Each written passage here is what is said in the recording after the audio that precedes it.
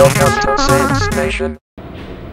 Hello and welcome back to Saints Nation. I'm your host Spencer Pearson, And I'm your host, Brandon Cole. and today our first story, or most important story that is, is it's a short week. That's right, no Friday or Monday for us or you. Exactly four days of school followed by four glorious days of weekend. It's going to be amazing. But that also means you won't be watching Saints Nation tomorrow, sadly. You're going to be watching it today. Today, exactly as should be obvious enough by the fact that we uploaded it yesterday for you to watch today. Yada yada yada. Regardless of how intriguing a story that is, however, we're now going to have to move on to our next story. Brandon, would you like to take over? Sure thing. This last week for St. Helena High School has been our annual Spirit Week. Exactly. We had Monday was Hippie Day, Tuesday was Cowboy Day, Wednesday was Neon, and today, Thursday, is School Spirit Day. That means Absolutely. wearing all your red and black. And we've got some wonderful photos of that, which will all be in the snapshot. So make sure you guys stick around to check that out. In the meantime, though, we have another very special piece from our own Nat Holland, who has his tech piece. That we do. He's looking into the new technology on the campus and how it changed how teachers teach for better or worse. He figured he'd get a general consensus. So let's go see what Nat has on the field for us. Nat, how are you doing? Hello and welcome to Tech TechEd. My name is Nat Holland. So today we're going to be interviewing some teachers about the new technology that the school has implemented, such as Windows 8 and the Lenovo touchpad notebooks that they have been given. So today we have Glenn Jones, a technical advisor at the district office. Is that correct? Yes. Okay. So what do you think about the new technology that the school has provided the teachers around campus? The technology here at the school, I guess for some people is great. I don't use it because I use Apple product products because they do what I do. But PC, I don't really understand what they're using them for specifically. Perhaps PowerPoint, projecting things on the screen. Um, but I'm not really sure how they are implementing the use of the new technology in a classroom environment. Okay. Um, so, if you had $100,000 to spend on technology around the school, what would you use it for? Hmm. I would buy eight brand new Mac Pro desktop, Okay. maxed out, and then create a really amazing multimedia video lab that people could actually produce things. They're so powerful, they could just get it done fast. Okay. Um, and do you think the new laptop has hindered your ability to teach, or has it not affected it, or has it? It's at times frustrated it. It's taken me longer to perform some simple tasks. Um, I think that the ThinkPad, and from what I've heard from other teachers, is a uh, can be a very frustrating experience considering it's a touchscreen and and the touchpad also are very very sensitive and pages tend to disappear. Pages tend to be uh, exited from before you're wanting to exit them, uh, and again, I think for some it's been so frustrated that they simply have plugged in their old keyboards and used their old monitors, which, again, um, doesn't seem to have been necessary. Okay. And I know that you're not exactly the best tech person on No, I'm campus. Um, but if you had $100,000 to spend on new technology for the school, what would you spend it on? You know, because I'm not the tech person, uh, the tech savvy person on campus, I think what I would would do with that money is I would go and I would ask teachers what it is they want. Okay. Uh, has the technology hindered or helped in any way um, that can be expressed? Well, I think anytime you do big changes, uh, like we've done with technology, there are some challenges that happen. So for me personally, I had to deal with certain challenges like where do I have all of my photography students save their photographs and how do I how do I look at them and review them and so we've had to kind of get creative with creating some new systems that were working in the past. Um, so there have been some bumps in the road and some frustrating moments along the way.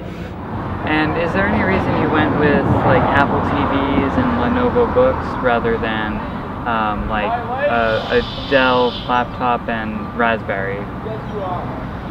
Um, that's a very technical question, which I have no clue. No, I don't have no clue.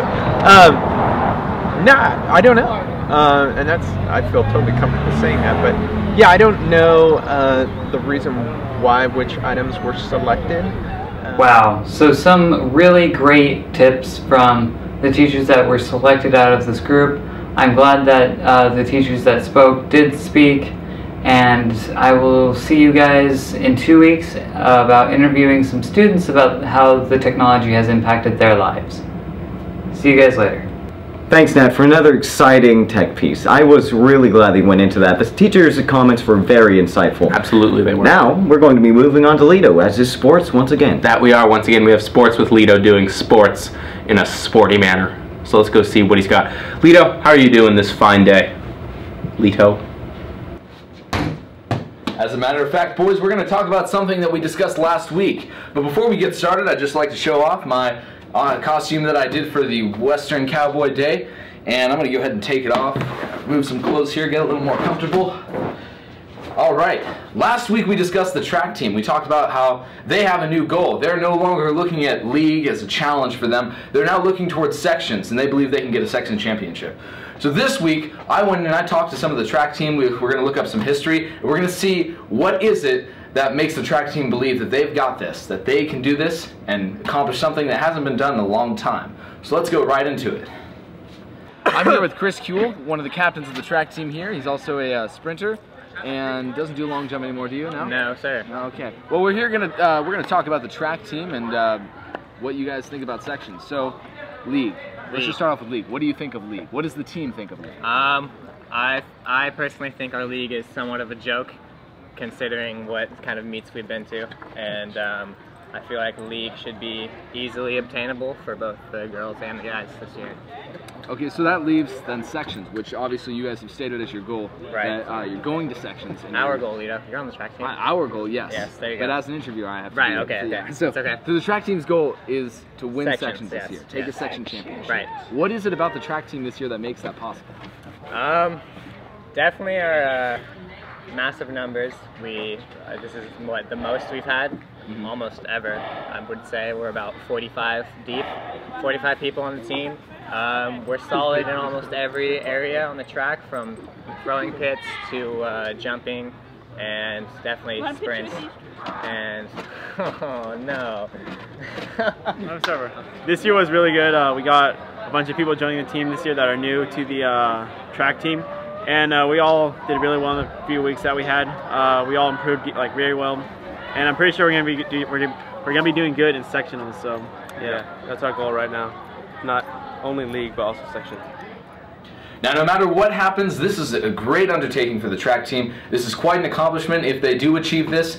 And if they don't, hey, they still shot for it, and they probably will get a good try in. So give them a good round of applause. Good luck to the track team in your endeavors. Now let's talk about some games to look forward to this, this weekend. Today, the 17th, it's a Thursday. The swim team is going to be at Calistoga. That's technically a home meet, so go support them there. And the golf team is going up to Cobb Mountain to play a small tournament there. Tomorrow, the 18th, the varsity softball team and the boys baseball team are both going to Kelseyville to play them there. Wish them luck on their way. And that Saturday, the track team is going to the Fred Fawcett Invitational.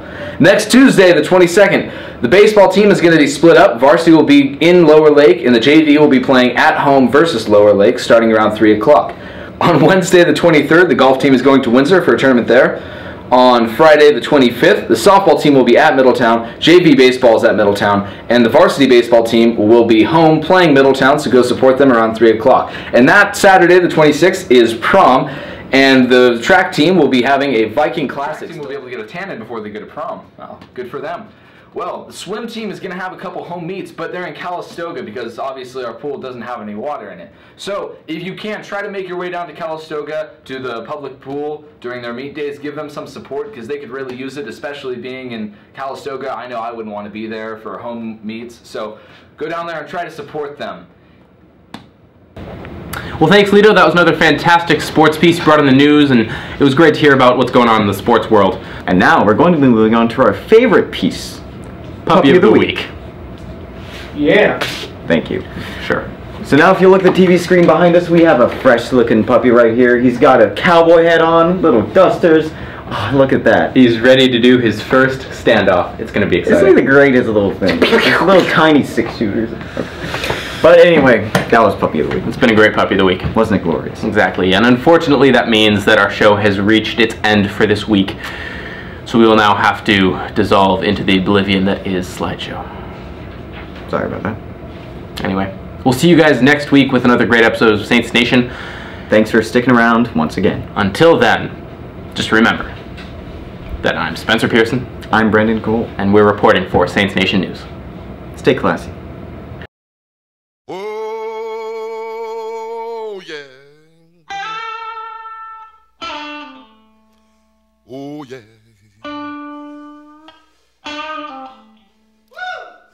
Everything, everything, everything gonna be all right this morning. Oh, yeah.